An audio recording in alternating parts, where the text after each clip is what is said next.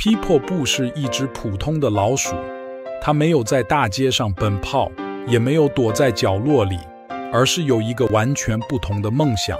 他是一个音乐爱好者，他特别喜欢古董店角落里那家布满灰尘的废弃钢琴。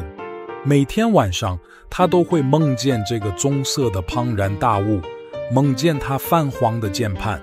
当商店关门时，他会静静地走到钢琴前，抚摸着键盘，用战斗的声音唱起歌来。当他的声音与会当在钢琴上的音符汇合在一起时，背上的旋律就会充满整个房间。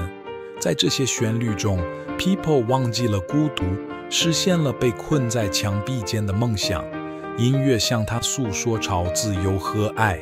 日复一日，周复一周，月复一月，People 的夜间音乐会给他的生活打上了深深的烙印。有天早上，店里非常热闹，魁梧的男人们用大步把一架钢琴抬了出来。People 两慌失措地跟在他们后面，但徒劳无功。